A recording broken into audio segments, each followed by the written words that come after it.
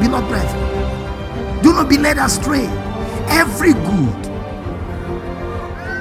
every good gift, and every perfect gift is from above and cometh down from who?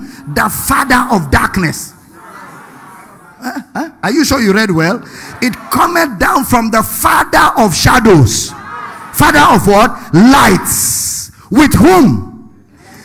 There's no variable. That is, he doesn't treat you different from him. He's not, he doesn't vary, he doesn't prefer you to the other. There's no variation, no variableness, neither a shadow. He doesn't change his mind. He doesn't say, You are going to be great, but because you didn't fast, I changed my mind. Then you start praying, Destiny changer, come and change my destiny. It's a prayer from shrine. It's not a Bible prayer, it's a prayer from shrine. Change which destiny? Which destiny is he going to change? Are you in Christ or not? Because if you're in Christ, you have no destiny to change. The day you came into Christ, you came into destiny. Glory to God.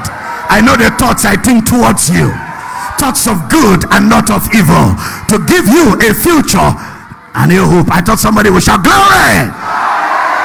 For those he foreknew he predestinated. Those he predestinate. That is he prepare your destiny before you were born.